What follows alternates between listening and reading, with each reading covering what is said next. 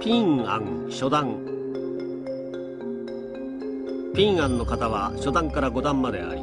それを伝えた沖縄の空手家によって多少の相違があるが最も信頼できるものを取り入れ流祖により使い方を改変したものが和道流のピンアンの型である。初段については猫足立ちから逆足へそこから順突きの立ち方へというような足の変化を意識して稽古するとよい。